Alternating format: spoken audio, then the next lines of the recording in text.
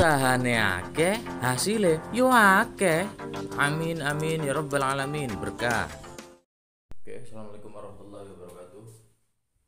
Pada intinya, kalau mau modal tim, ya,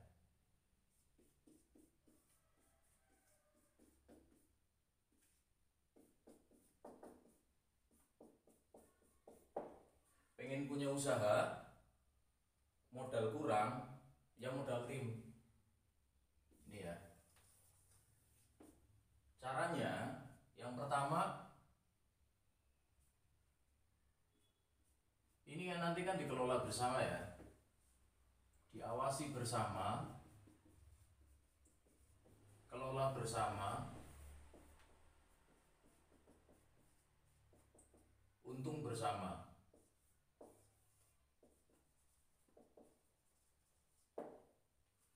Jadi simple yang akan menjadikan modal tim ini adalah visi dan misi yang sama. Jenis usaha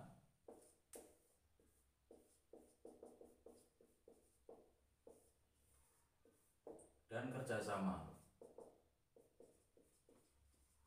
atau cara ya. Tak kasih contoh aja. Jadi kemarin ada yang telepon, eh ada yang WA sorry, ingin kerjasama. Kita anggap eh, ayam geprek aja ya. Ayam geprek butuh ayam geprek ini butuh 10 juta.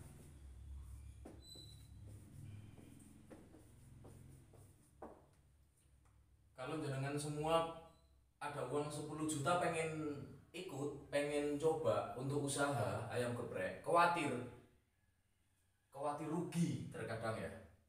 Karena mungkin belum punya pengalaman di bidang usaha dan lain-lain. Tapi di sini solusinya adalah 10 juta ini dibagi. Yang proporsional kalau 10 juta ini itu dibagi maksimal paling banyak itu lima orang. Contoh lima orang adalah 1, 2, 3, 4, 5 dikelola oleh lima orang modalnya ini 2 juta, misalnya saya ya. Ozi. Di sini misalnya Amin. Intan. Risno, Sita, Risno. Lima orang ini 2 jutaan berarti kan? 2 juta jadi 10 juta patungan 2 juta. Kemudian bagaimana acara e, bagaimana usaha ayam geprek ini bisa berjalan? Nah, dari lima orang ini akan tercetus satu satu putusan ayo ayam geprek. Tak kasih contoh yang udah saya lakukan adalah untuk satu tempat ini diambil salah satu lima ini. Ya di antara lima ini ada yang bekerja karena modalnya kecil ya. Karena modalnya kecil. Jadi meminimalisir. Yang pertama contoh eh, Risno. Dia yang bekerja. Ya Risno yang bekerja. Nanti rumah atau tempat sewa misalnya Risno mau bekerja di ayam geprek di depan Indomaret misalnya. Di depan Indomaret eh, di depan toko aja ya. Kalau Indomaret dia kan punya aturan sendiri di depan toko sewa satu bulan misalnya 350 350 ribu. Awalannya untuk gerobak itu minimal 5 juta. Gerobak. Ini 5 juta biasanya cukup termasuk nanti buat alat-alat dan lain-lain. Ya dari 10 juta itu 5 juta 350 per bulan ya kan? Per bulan. Terus kemudian untuk lain-lain untuk bahan dan lain-lain 2 juta. Ini sudah 7 juta 350 nah 7 juta 350 ini nanti digunakan untuk bulan pertama kan ada sisa berarti kan? Ada sisa berarti 2 juta 650 ini untuk sesuatu yang tidak terduga untuk pegangan. Supaya yang 10 juta ini tutup. 10 juta tidak ada tambahan lagi. Karena seandainya ada tambahan lagi berarti nanti bikin perjanjian baru. Ini kita pakai hitam putih ya harus ada perjanjian di atas materai supaya kita sama-sama enak simpelnya kita punya uang 2 juta kita sudah bisa punya usaha bagaimana cara baginya Bagaimana cara baginya? Nanti di situ ada namanya laporan harian. Laporan harian, contoh nomor kredit, debit. Oh, pemasukan dan pengeluaran aja biar gak bingung ya. Masuk, keluar, saldo, keterangan. begini ya. Ini sudah terhitung 10 juta. Masuk 10 juta. Keluar. Sekarang keluarnya 7 juta 300 di bawahnya ya. 7 juta 350 7 juta 350 ini buat tanggal ya tanggal aja. Kita anggap eh, tanggal 1 lah tanggal 1 10 juta keluar 7 eh, 7 juta 350 saldo 2 juta 2 juta 650 oke ya ini sudah bisa berjalan. Ya sudah bisa berjalan. Kalau sudah bisa berjalan nanti setiap hari masuk ini terakhir. Keluar 7.300 saldo sekian. Kemudian berjalan satu hari ini keterangan untuk biaya ya biaya pertama kemudian mulai tanggal 2 dia mulai kerja. Tanggal 2 mulai kerja.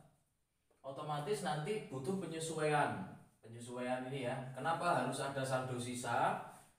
Kita jangan pakai modal 100% ingat ya putaran modal itu paling proporsional 50 banding 50 75 banding 25 ini yang proporsional untuk untuk ketika kita jualan ya harus ada sisa untuk ancang-ancang berikutnya.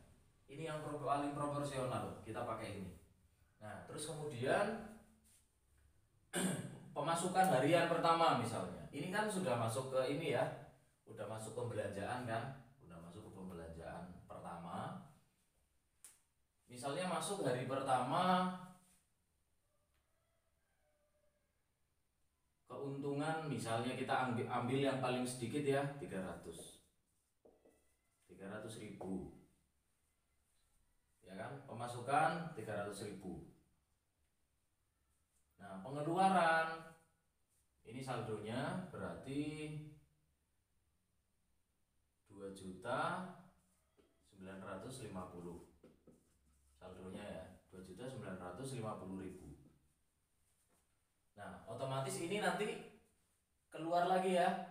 Untuk besok pagi keluar lagi dari saldo 2.650 ada pemasukan 300.000 total sis total saldo 2.950 keluar pengeluaran biasanya dia berpikir oh pengeluaran ini kurang ini. Biasanya tidak bisa ketika kita uh, usaha pertama langsung 100% uh, jadi paling ada sesuatu yang kurang misalnya beli alat apa apa apa dan lain-lain. Kenapa saya pilih ayam, e, contoh ayam geprek? Pertama saya udah pernah mengalami ya. Kedua ayam geprek itu adalah e, usaha yang paling simpel gitu ya. Terus kemudian pengeluaran hari e, untuk besok pagi kan beli malam ya. Untuk pengeluaran besok pagi misalnya pembelanjaan itu misalnya pembelanjaan 180 eh dibuletin aja ya 100 keluar 100 keterangannya di sini ditulis belanja. Nota terlampir ya nota-nota semua terlampir. Terus kemudian saldonya 2 juta 850 sudah terus kemudian dalam satu hari ada pemasukan 200 ya ada uang pemasukan 200 berarti saldonya 2 juta.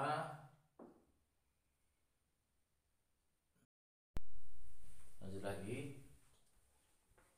Berarti totalnya 3 juta 50 ribu dan seterusnya seperti ini. Ini ada di tanggal 3 sorry. Diulang lagi ya. Aduh ini tadi udah panjang lebar tapi ternyata nggak kerekam. Jadi tadi kan sampai sini ya. Pengeluaran pemasukan. Nah anggap aja ya. Ini saya hitung selama tujuh hari nah selama tujuh hari ini saya awur ya. Misalnya pemasukan pertama 300 kedua 200 misalnya di sini pemasukan setiap tanggal ya. Kita hitung aja. Jadi hari pertama kedua ketiga keempat kelima keenam. Ya senin sampai anggaplah ini tujuh hari aja ya tujuh hari berarti tanggal satu eh, tanggal 7 si pasang satu lagi 200 kita kasih contoh. 2, 3, 4, 5, 6, 7, 8 Oke ya, selama 7 hari keuntungannya ini. Pengeluarannya tak bikin simpel aja ya 200 150 Nah, oke pas ya Pengeluaran sudah 7 hari Pemasukan sudah 7 hari Kemudian kita jumlah. Dijumlah, mulai lagi. Yang dijumlah itu pemasukan yang pendapatan ya. Kalau yang 10 juta ini jangan dimasukkan karena 10 juta itu masukan modal awal, kemudian keluar pengeluaran pasti yang pertama kali untuk modal itu kan dalam bentuk fisik ya, dalam bentuk warung. Ini jangan dihitung jadi pengeluaran harian selama satu minggu dihitung. Kita cek lagi. Takut nggak kerekam. Oke. Nah, ini ambil contoh ya. 200, 300, 450, 6, 7, 7, 50, 12, 7, 8, 9, 10, 11 12, 13 1 juta 350 Oke, satu juta tiga ratus lima puluh ribu pengeluarannya selama satu minggu. Pemasukannya dari ini ya, dari yang mulai 300 ini ya. 3, 4, 5, 6, 7, 8, 9, 10, 16, 17, 11, 12, 2 juta 200 Oke. Langsung ketemu ya. Keuntungannya selama satu minggu. Keuntungan selama satu minggu. Totalnya adalah ini ya 100 juta 350 itu pengeluaran selama satu minggu. Kemudian pemasukan selama satu minggu 2 juta 200 berarti keuntungannya itu hitung ya.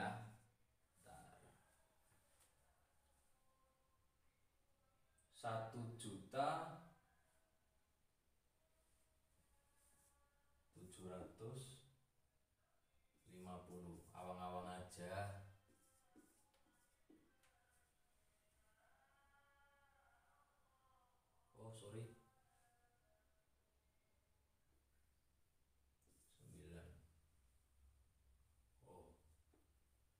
1.850.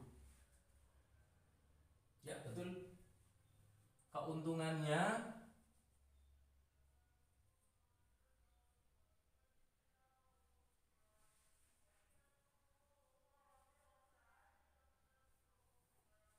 dua juta dua ratus ke satu juta tiga ratus lima puluh berarti delapan ratus lima puluh ya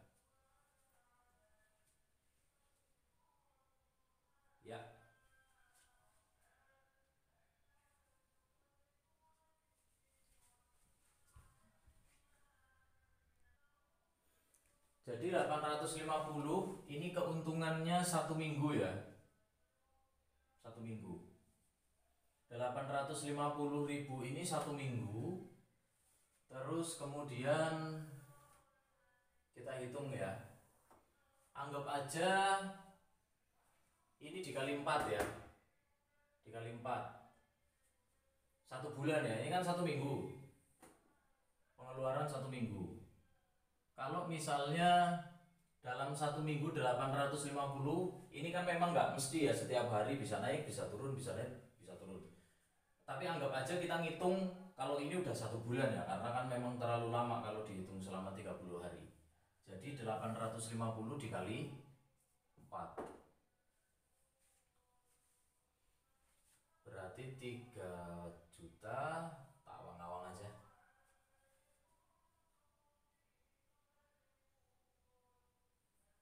juta empat ratus ya. Satu bulan. Tiga juta empat ratus. Yuk betul. Harus bener. Nah saya ngawang-ngawang ini. Oke selama satu bulan keuntungannya tiga juta empat ratus. Tiga juta empat ratus kita ambil untuk karyawannya ya. Meskipun karyawannya itu ada di salah satu tadi Risno kan ada satu salah satu pemodal. Tapi kan dia juga harus pakai uangnya dia dong. Apa? Dia juga harus dibayar. Karena kita sama-sama lima orang pemodal. Ya kan? Satu orang untuk jadi karyawan. Otomatis ini kan si karyawan ini juga harus dapat gitu loh. Meskipun si pemodal apa e, si karyawan itu ada di salah satu pemodal. Gitu ya. Misalnya anggaplah 5000 aja ya. 50 sorry 50 kalau 50 ribu berarti kan satu setengah. Satu setengah. Terus kemudian listrik, listrik kan bulanan nih. Listrik bulanan. Berarti listrik anggaplah 100. Oh, nggak nyampe, biasanya sekitar 50 ya. Listrik 50. Karena kan hanya ayam geprek biasa. Terus kemudian bulanan. Bulanannya itu kan 300 tadi ya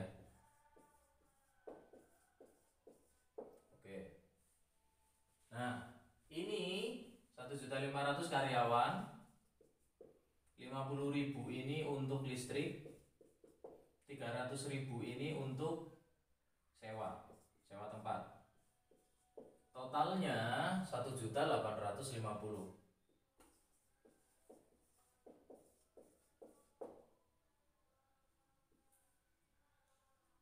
Oke berarti ini totalnya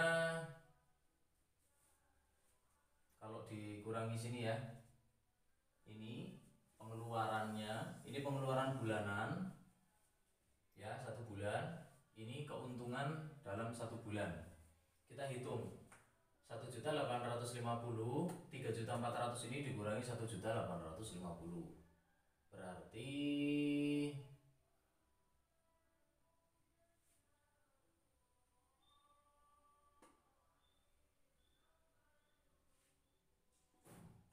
juta lima ratus lima puluh. Yuk. Oke ya. Dua juta lima ratus lima puluh ribu ini ya ada lima orang pemodal. Lima modal. Lima modal. Kalau untungnya dalam satu bulan 2.500 bersih pukul simpel aja lah. 5 500 apa? 500 ribu satu orang. Ya kan? 5 modal 500 ribu satu orang. Selama satu bulan. Hanya modal 2 juta rupiah saja. Masuk enggak kita hitung masuk enggak untung apa enggak kalau saya menghitung untung ya ketika modal modal kita masuk kategorinya untung produktif atau enggak? Hitungnya begini 10% dari modal kita. 10% dari modal kita. Kalau keuntungan kita itu lebih dari apa 10% itu udah sangat banyak. Sangat banyak. Ya karena apa? Kita nyari untung 10% dengan titik aman itu sulit. Sulit sekali. Karena contoh ya kalau 10 juta modal 10 juta kita bisa dapat untung satu bulan satu juta itu dengan aman ya dengan aman. Istilahnya resikonya nggak nggak tinggi itu tak hitungi jempol banget. Berbeda dengan yang punya resiko tinggi kayak trading dan lain-lain. Trading bisa dalam waktu misalnya modal 100 juta bisa untung 25 tapi ruginya juga bahaya. Semakin banyak resikonya untung juga banyak. Kan gitu. Tetapi piye caranya kita itu untungnya banyak tapi resikonya kecil? Makanya kita bahas di sini tuh karena biar untung kita banyak resikonya kecil kalau kita modal sendiri 10 juta 10 juta ya kita modal sendiri. Untungnya ya untungnya dimakan sendiri 3 juta 400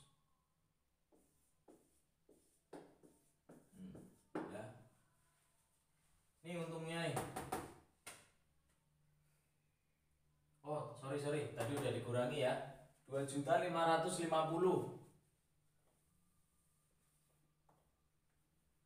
untungnya 2 juta 550 ayo kita bandingkan ya. Modalnya 2 juta. Modal 2 juta dapatnya 500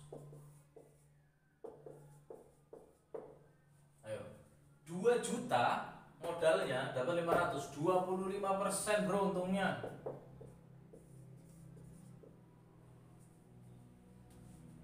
Alhamdulillah. Ya kan? Dapatnya 500 2 juta nih. Kenapa saya itu lebih milih modal tim? Alasannya di sini. Seandainya jenengan modal 10 juta dapatnya dua setengah ya 10 juta modalnya dua setengah untungnya besar tapi resikonya besar. Like sepi biye gitu loh. Kita pasti untung untung untung untung untung untung untung. Seperti yang biasa saya ini ya resikonya adalah untung.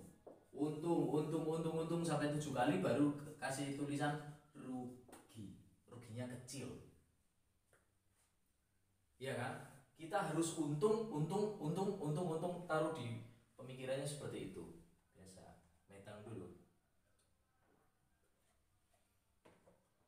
Tetapi kalau jenengan ngambil yang 2 juta, untungnya ini 500. Tetapi apabila usaha tersebut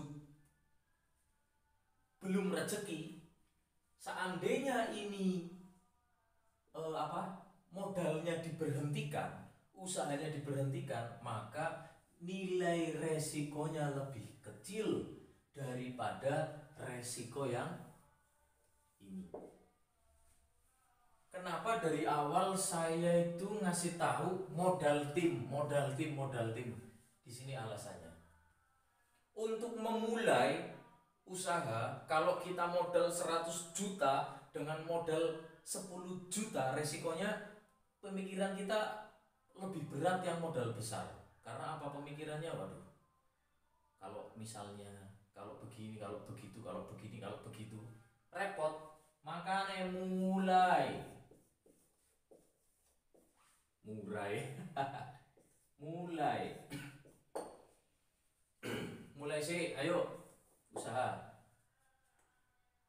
Ya kalau misalnya jenengan berminat yang seperti ini ya kan? Berminat seperti ini jenengan boleh cari lima orang 10 orang yang satu visi dan misi memiliki visi dan misi yang sama ya kan? Nanti jenisnya usahanya apa cara kerjanya bagaimana cara e, bagi hasilnya bagaimana baginya itu nanti di situ masuk ke yang visi misi ini.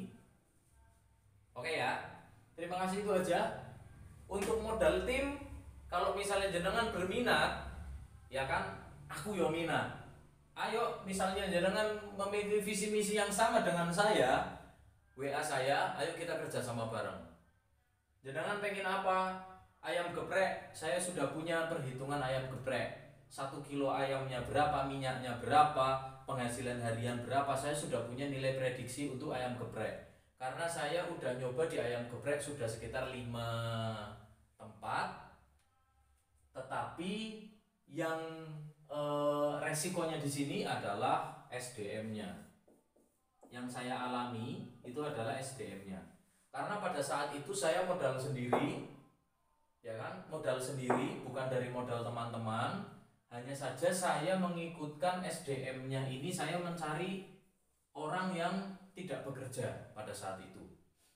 Orang yang punya rumah, orang yang punya rumah rumahnya strategis dia nggak punya kerjaan tak samperin jenengan mau nggak tak modalin jenengan kerja sama aku dengan modal kecil. Karena apa? Jualannya di depan rumahnya dia listrik listriknya dia tenaga tenaganya dia. Nanti untung berapa baru dibagi hasil. Seperti itu ya. Jadi ada beberapa cara untuk ini menemukan lima pemodal ini.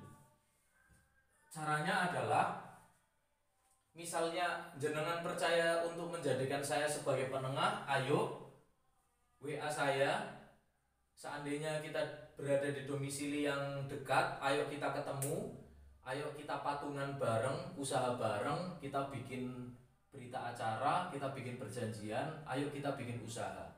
Kemudian dana berapa yang harus dikeluarkan? Nah, di situ nanti ketemu di musyawarah dan mufakatnya ini. Kalau misalnya jenengan hanya berani modal awal aja lah 2 jutaan, ayo kita coba beli warung, bikin warung. Oke, ayo 2 jutaan, saya siap. Gitu loh. Tapi ketika jenengan aku duit duit satu juta, ayo bikin warung kopi. Nah, ini kita harus mencari orang yang memiliki nominal segitu juga supaya impas. Gitu ya yang paling penting yang yang yang paling simpel itu ketika ada orang yang usaha 100 juta mau punya usaha misalnya mau bikin warung kopi 500 juta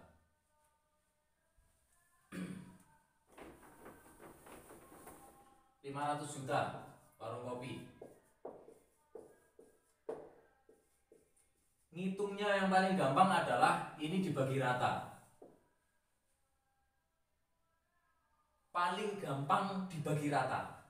Ada lima orang ya seratusan. Kali lima lima ratus. Menghitungnya lebih gampang tetapi kalau ada yang oke okay, ini 250 aku ya misalnya 500 juta nih aku ada uang 250 ya kan? Yang 250 lagi nanti dibagi 5 bisa. Ya kan? Nanti model saham ini 20 250 juta berarti 50 persen.